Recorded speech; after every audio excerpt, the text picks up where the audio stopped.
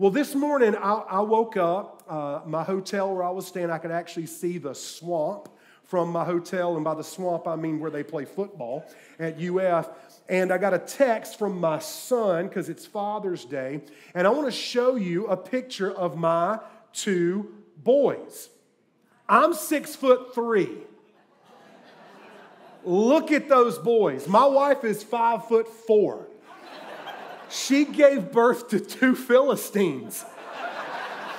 That's a year ago. My, old, my youngest son, who is the tallest one, his name is Jojo. He's on my, my right. Joseph, we call him Jojo. He's an inch taller than that now, and he is going to be a junior. He just finished his sophomore year in high school. He's just 16 years old. Um, he's a football player and a basketball player. And I don't know what God's will is for his life, but you know, I should start praying and prophesying that he's going to get recruited to play football at UF because that would give me a reason to come down here during the fall. I could just come over and worship and hear you preach on Sundays, Mark. And my son Jacob, who is on my left, you're right, he's 19. He just finished his first year of college at Anderson University. And um, for three years now, he's been preaching. Every time he preaches, people get saved. Every time he opens his mouth, the joy of Christ just pours out of him. Both of my boys love their mama and they love Jesus and they love the church. I got a text this morning. I want to read this to you so I can get all up in my feels, all right? I'm an emotional person and I cry a lot. I got this text from my oldest son this morning, Jacob. He says, Happy Father's Day, Daddy. I love you so much. You're the best dad I could ask for. And I truly do mean that. You are loving, you are encouraging, you are kind, you are stern, you are strong, you are a great leader, you are gifted, you exude the love of Christ, you are funny, you are my role model. I love you so much and I'm thankful for you. I'm praying for you today, and I know that God is going to do great things through you. None of us deserve to be used by God but God made a great choice in choosing you. I got that from my boy this morning. And as I, as I enter into this message, I want to tell you one of the reasons why that means so much to me on Father's Day is because 10 years ago today, on Father's Day, I preached my dad's funeral. That's why Father's Day for me is so important. It's so emotional for me. It's a day I'll never forget. Father's Day marked me a decade ago because a decade ago, I got to preach a message honoring my earthly father after he had gone to meet my heavenly father. It's also special for me because I'm adopted. And ironically enough, my dad that raised me, uh, his name was Joe. I didn't know anything about my uh, biological family until after my mom and dad had both passed away. So by the age of 39, I felt like an orphan again. Didn't know a whole lot about my family growing up. Didn't know much at all, if anything, really, about my biological family. But I did a DNA test. When I took this DNA test, I was able to locate my biological family. My biological mom and dad had both passed away. And as I got to find out about my biological family, my dad's name was Frankie. Uh, my dad was six foot three. Uh, my dad could, as, according to his brother, uh, who told me, he said, I've been watching you preach online. You're pretty good at what you do. You're a lot like your dad. I was like, Well, tell me about Frankie. I never got to meet him. And the first word that came out of his mouth about my biological dad, he said he could sell an ice maker to an Eskimo. And so, as I am unpacking all of this history about my biological mom, my biological dad, I'm finding out more about who I am, even genetically. It occurred to me that we really, none of us, none of us has a perfect daddy, and that's okay. There is no such thing. But what I want to do today is I want to talk about the perfect father. There is a difference because we're talking about two different people. When I think about my dad, and I had two of them, one that I knew and one that I never met, neither one of those men were perfect. But today I want to show you what Jesus had to say about his heavenly Father. Because if you want to know what God is like, if you want to experience God in your life, if you want to really know what he looks like, what he acts like, what he thinks like, what he values, how he treats people, if you want to know God as He truly is, then you need to listen to what Jesus says about God. And what does Jesus say about God? He encapsulates it, in, in, encapsulate his, his entire definition of who God is with one word Father. That's why Father's Day is such a big deal. So in Matthew chapter 7, Jesus is preaching the Sermon on the Mount. And I want to read some verses to you about our Heavenly Father. And I want to show you what Jesus had to say about him. And at the end of this message today, here's what I know is going to happen we're going to see people have their hearts opened up to the love of God. And we're going to see people today, in the next 27 minutes, we're going to see people come to faith in Christ. We're going to see fathers give their lives to God. We're going to see moms and children give their lives to God. And for all of us, we're going to get a clearer, more beautiful, spectacular view of who God is and what God is like because we can know him as Father. Here's what Jesus has to say about his heavenly Father. Matthew chapter 7. I want to read this to you. It'll also be up on the screens. Verse 7 Ask, and it will be given to you. Seek, and you will find. Knock, and the door will be open to you. For, and this is a promise, everyone who asks receives, and the one who seeks finds. And to the one who knocks, the door will be opened. Now, watch what Jesus does here to help us see a clearer view of what God, our Heavenly Father, is really like. Who among you, if his son asks him for bread, will give him a stone? Or if he asks for a fish, will give him a snake? If you then, who are evil, know how to give good gifts to your children, how much more will your Father in heaven give good things to those who ask him. Therefore, in light of what Jesus just said, whatever you want others to do for you, do also the same for them, for this is the law and the prophets. There is so much here, but in the time I have, I want to show you four simple truths. Number one, Write it down if you think you'll forget it. Tattoo it on your soul. Pray for God to lodge this truth in your heart. No one has a perfect dad, but we all have a perfect father. No one has a perfect dad. No one. So I want to let the dads off the hook for a second. I know sometimes dads are like, don't get in my face, don't confront me, don't tell me what I need to be doing different. I'm doing all I can to do my job, to love my family. And I want you to know if you came to Canvas Church today and you're a dad, there is nothing here today but love and honor and respect for you, sir. Thank you for all the sacrifices you've made that nobody knows about, that nobody sees. But I know in, in our culture, there, there tends to be this kind of um, idea that women struggle with insecurity more than men. I don't believe that. I think men struggle with insecurity just as much as women do. Let me just put it to you this way I do. What a blessing that as a father, I don't have to be perfect. When Jesus says this here in Matthew chapter 7, these words, when you, though you are evil, know how to give good gifts to your children, what Jesus is saying there is, there is no perfect father. All of us are broken. My dad, when I preached his funeral 10 years ago today, I was honest and I said, My dad was not a perfect man. He wasn't raised in a perfect family. My dad's dad walked out on my dad when my dad was 10 years old. As a result of that, my dad struggled with anger. My dad struggled with rage.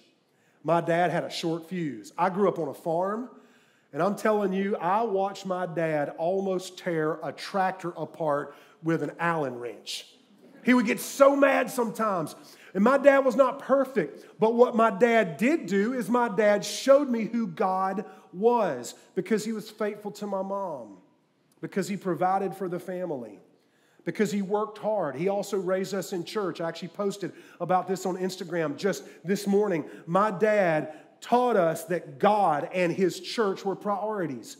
And on Sundays, like it's kind of a foreign concept for me when some people on Saturday night as a family, like, what are we going to do tomorrow? There was never a question in my house what we were going to do. If it was Sunday, everything else could wait.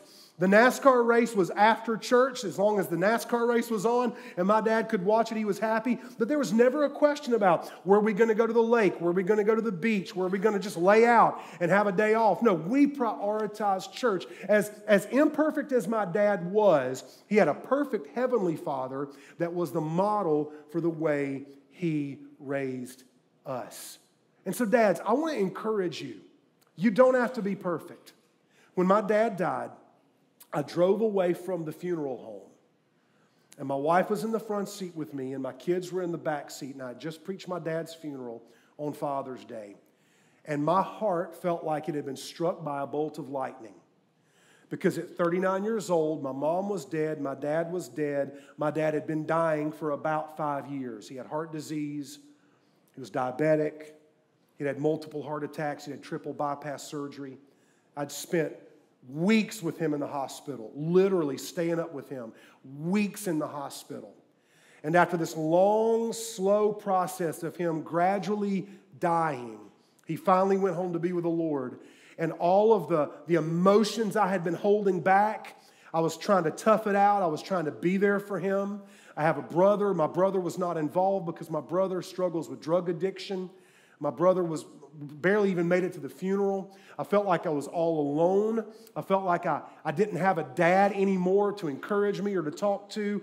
And the Spirit of God spoke so clearly to me. And, dads, I want to encourage you with this before I move on to point number two. God spoke to me in my heart, and He said, Son, you have nothing to prove and no one to impress because I fully know you and I fully love you. And when I look back at the course of my life, 49 years, I can tell you with absolute clarity that moment, that revelation where I realized I don't have to prove anything to anybody. I don't have to earn my Heavenly Father's love. I don't have to work to make my Heavenly Father notice me. When I mess up, I fess up. He forgives me and I get up and I do it again.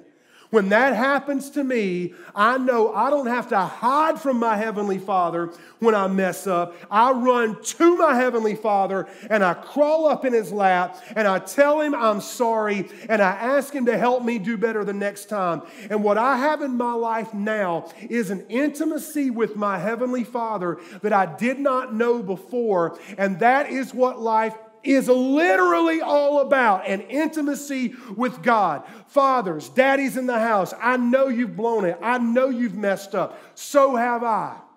I know that some of you struggle with anger. I know that some of you have a wound in your soul because your dad wasn't there, or he was kind of there, or he was there but not emotionally there for you. I know that some of you struggle with pornography and lust, that some of you get frustrated in your marriage and you look at your children and you wish you had done things differently. And some of you, you listen to the enemy tell you you haven't made enough money, you're not successful enough, you're not significant significant enough. God could never be proud of you because look at all the mistakes in your past. I want to call out those lies for what they are they are demonic, they are destructive. Your Father loves you. Your Heavenly Father gave His Son so that you could be forgiven, so that you could be redeemed, so that you could be saved. And if you could, dads, if you could just let the Spirit of God take that heavy burden off of your shoulders today, I'm telling you, there is a freedom and a liberty on the other side of your salvation that you can walk in that is the most enjoyable thing in all of life. But you've got to understand, you're not perfect, but your Heavenly Father is. There is no perfect daddy, but we all have a perfect Heavenly Father. He gives good gifts to his children. And that's what Jesus goes on to explain in this passage. Point number two the Father wants you to ask so that he can give. That's what Jesus says right here. Ask, and it will be given to you. How many of you remember when your kids were little and they were in the question stage? Anybody have kids in the question stage right now? Can you raise your hand? We're going to pray and fast for you. the question stage. Man, I can remember it. I, I, I wasn't going to tell this story, but then when I got here today, I remember how cool Canvas Church is. And I also know that because of Pastor Mark preaching here, I can say pretty much anything and y'all are cool with it. So, my kids had tons of questions and they were constantly asking. We homeschooled our kids for seven years before we sent them to public school um, to be reprobates. I'm just kidding. I love public school. I went to public school. My kids did too. But when they were little, they had so many questions. They would ask all the time. And the most important question that they would ask was always, why? I'd tell them something, why? Why? Why? One morning, my wife is upstairs homeschooling our kids, and she sent them downstairs into our basement to watch something on PBS about wildebeests. It was part of the curriculum. I'm in my office, literally just a few feet away from the flat screen TV. My kids at that point were, I think, five and eight years old. Is that right? No, or four and seven. Anyway, they're watching this thing on PBS, and it was part of their curriculum. And I overhear this guy in a British accent narrating what's going on. It was the mating habits of wildebeest in Africa. I'm not really paying a whole lot of attention. But all of a sudden, I hear one of my children go, What's he doing to her? His, his brother, my other son, said, Looks like they're wrestling. Jacob goes, From behind? That's weird. I'm just telling you what happened, y'all. My other son says, Pause it. I kid you not. So at this point, I'm up and I'm like peering out from the door. I want to see what in the world they're doing. They literally pause the TV and they walk up under the flat screen and they're doing this. It's like they're trying to see 3D. And then J- Jacob, my oldest, goes, Daddy! And I was literally right there, like, what? He goes, I have some questions. That was the day I fixed them from asking me questions about the birds and the bees because I just decided I'm diving in head first. And I told them the whole story. And then Jacob goes, You mean you and mama do that? I said, We sure do. He said, and then he, he just kept asking questions. He said, Why? I'm like, You'll understand one of these days. And then he goes, and then he kind of shivered. He goes, Oh, y'all did that twice. I was like, This morning? What?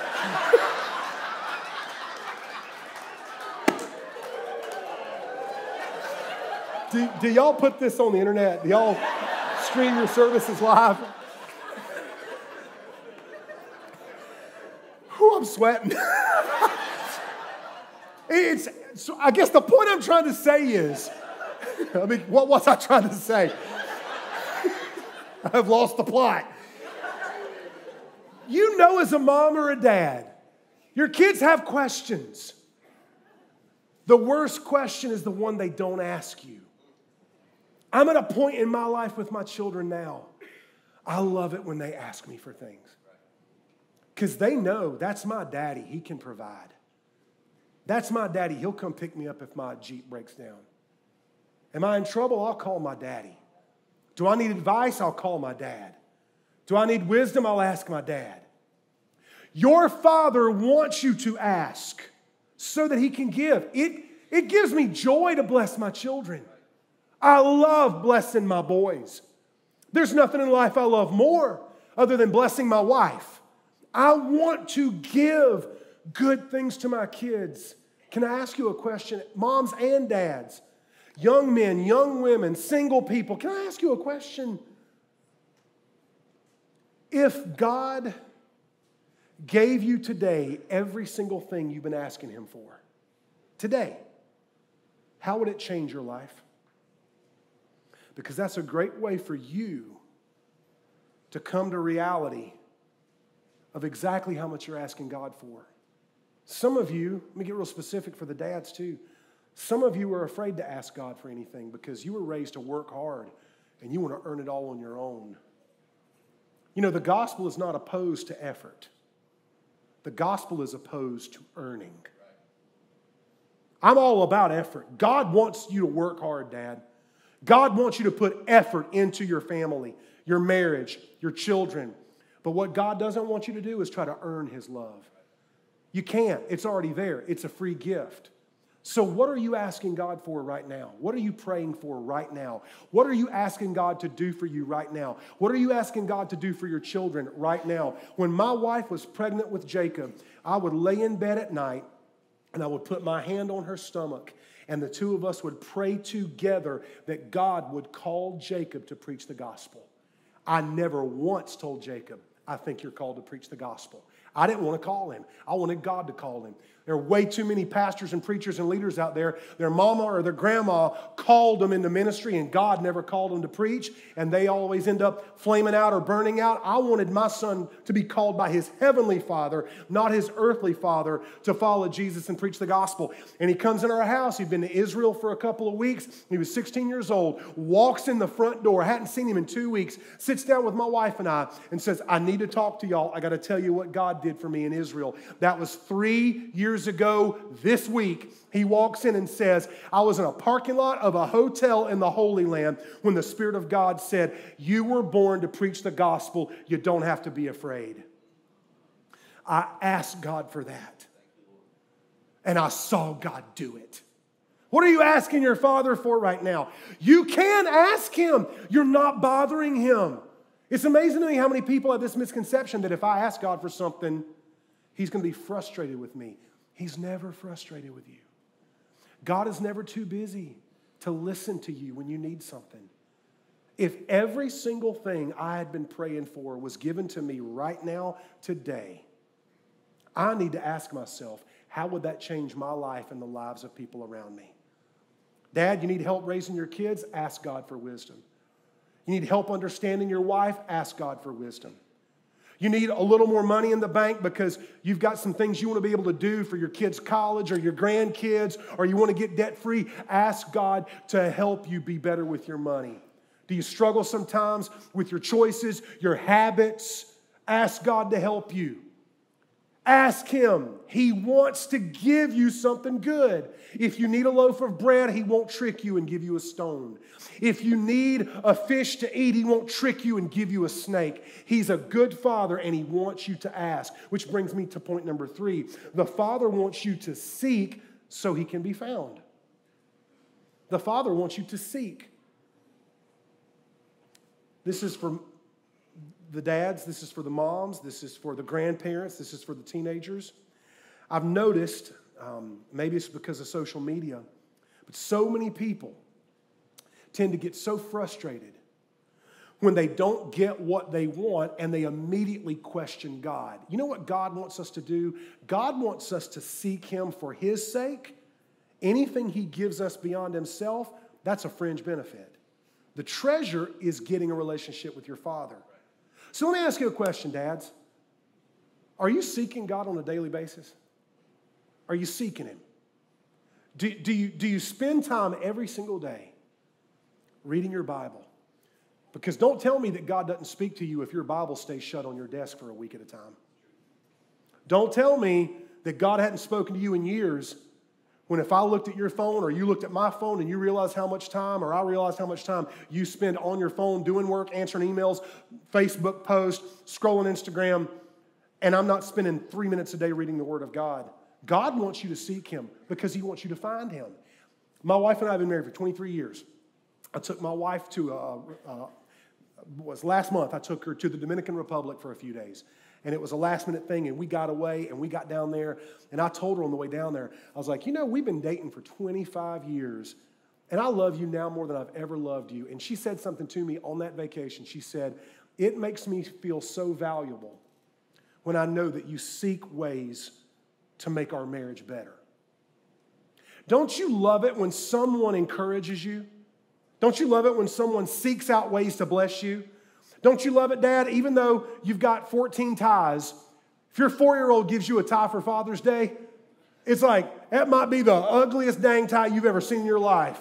You wouldn't put that thing on a dog in a parade, but you will treasure that tie. Why? Because your child was seeking a way to bless you and communicate, I love you. Do you know that you, listen, you and I, this blows my mind. We have the ability to bless our Heavenly Father when we simply seek Him for a few minutes every day when there are so many other things out there we could be seeking. You know what I've been doing for, uh, I've got some investments like I'm sure most of you do. And for several years, I wake up every morning and I get up early, 5 a.m. usually. And typically by 5:30, I'm seeking out what my investments did the previous day. I've stopped doing that recently because I didn't want to die of depression. Every morning, I seek out a few things on my phone. I wake up and I check the weather. I want to know what's it going to be like today? What's it going to feel like today? Should I wear long sleeves or short sleeves? Every day I get up, I open email, I seek out. Is there something I need to handle today? I look at the calendar that my assistant puts on my phone. Okay, what, where do I need to be today? I'm seeking those things out. So many times while I'm doing that, my Bible is sitting right there on my desk beside me, closed. And I go throughout my day and I get busy and I forget what my Heavenly Father wants from me is nothing from me. What my Heavenly Father wants is something for me. He wants intimacy with me, He wants intimacy with you. Do you want to be a better dad, dads? Study the best father. And the best father is God. And if you want to be a better dad, you got to study the perfect father. And you can't know the perfect father unless you read his book. It's the best advice I could give you as a dad. It's the best encouragement I could give you as a father. Your father wants you to seek him because he wants to be found. And then, fourth and finally, straight from Matthew chapter 7, the father wants you to knock so he can answer. The father wants you to come to him. The father wants you to, to approach him. And that's why, in a few minutes, when I give an invitation, some of you, for the first time, are actually going to approach your Heavenly Father and say, I know you love me, and I'm going to give you my life because you love me unconditionally. I've got an open door policy, I always have with my kids. Um, I don't know if any of y'all struggle with ADD or ADHD. I don't. Uh, I don't struggle with it. I love it. It's, I don't struggle with it at all. I enjoy it, every bit of it. I don't even have ADHD. I got A, B, C, D, E, F, G, H, I, J, K, P. And, and so um, I'm easily distracted. Y'all know if you live in America, there are distractions. Sometimes I want to crush my phone under my boot because the notifications just keep popping up. And somebody's like, turn them off. I'm like, I don't know how to turn them off. You do it. But distractions are a part of life. I, when my children were born, my wife and I made a rule that unless we were in like some kind of serious pastoral counseling if, if I was on the phone, if I was working on the computer, if I'm working on a sermon, if I'm writing a book, whatever I'm doing, when our children need something, they know that we will not blow them off. Now, if they're just coming to goof off, if they're coming for some reason that's really not important, that, that's an exception. But our children, we've told them this for years. If you need something, you are our priority. I want to take you back to the words of Jesus. If you fathers who are evil and imperfect and broken, if you fathers know how to give good gifts to your kids, how much more will your heavenly Father give you if you ask? God wants you to knock because he wants you to walk through that door, sit down with him, and have a relationship. There's a crisis in America. Uh, you're like, which one? There's a lot, right? I mean, take your pick, throw a rock, you'll hit 10, 10 issues. But I'm going to tell you something I'm passionate about. Maybe this is one of the reasons why you and I become so close, Mark. I'm passionate about men. I'm passionate about men following Jesus. I'm passionate about men being who God called them to be. But I also know that we live in a culture where there is a crisis. Men get a bad rap, men get canceled men get criticized. I mean, I would, I would dare you to try to find any network TV program where fathers are portrayed as competent, confident, and good.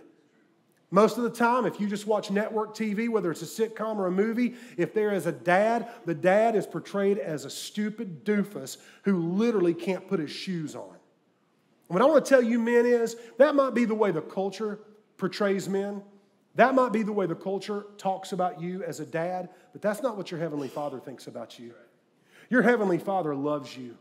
Your Heavenly Father gave His best gift in Jesus Christ to die on the cross to save you from your sins. And no matter how many mistakes that we've made as dads, no matter how many times we've dropped the ball, no matter how imperfect we have been, our Heavenly Father is there. And He just wants you to ask. He just wants you to seek. He just wants you to knock. Because when you knock, your Father opens the door and He invites you in to have a relationship with Him. As a matter of fact, when I found my biological family, did, did the research through Ancestry.com. Thank you, Mormons. The Mormons developed that. I don't know if you knew that. Did the research, found my biological family. And um, one of my cousins on my dad's side, my dad Frankie, who died before I met him, he called me up one day. He goes, Hey, I've been doing a lot of the research. Uh, now that we have your DNA, you're not the first preacher in the family. Your great, great, great grandfather was, was an evangelist, a circuit riding Methodist evangelist.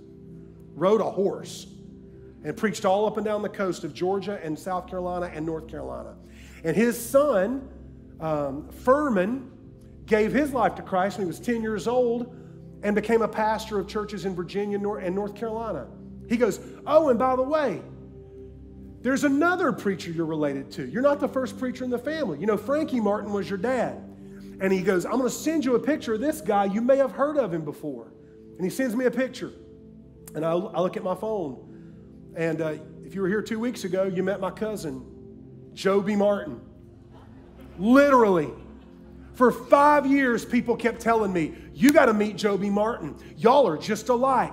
Bald, beards, camouflage, killing stuff and eating it, driving trucks, wearing a lot of denim, big, loud. And I'm like, I need to meet this guy. Turns out he is literally my third cousin. Blew my mind.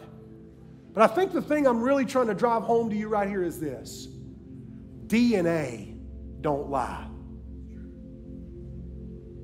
And if you know Jesus Christ, you have the DNA of your Heavenly Father in you.